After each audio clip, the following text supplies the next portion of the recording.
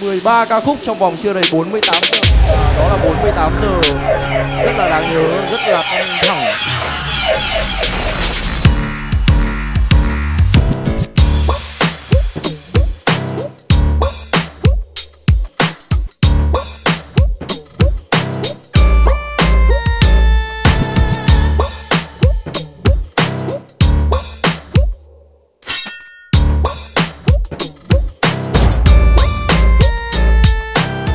Ba 3 mùa thì Space Speaker tự hào có thể tuyên bố phát hành album đầu tiên của Space Jam cùng với những người anh em của mình. Và đấy chính là lý do mà chúng ta có mặt ở đây tại sự kiện rất là đặc biệt của ngày hôm nay.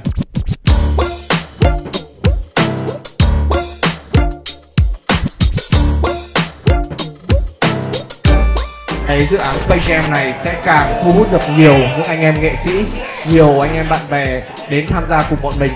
Và hy vọng mùa 4, mùa 5 tất cả mọi người vẫn sẽ tiếp tục cùng bọn mình đến những cái trại, đến và chúng ta thả hồn vào đấy, chúng ta vui chơi cùng nhau để chúng ta thăng hoa trong âm nhạc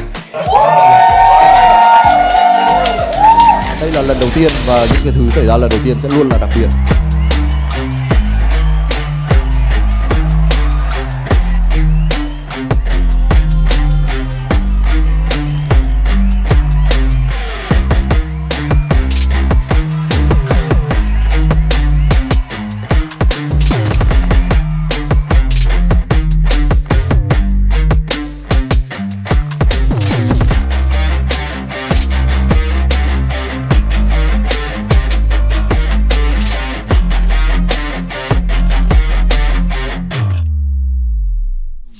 naughty on my shit.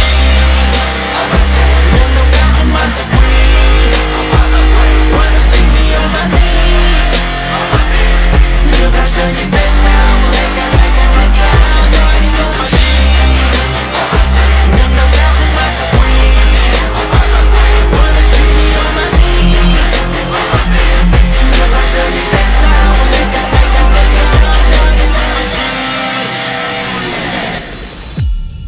Tỏ mọi người rất nhiều.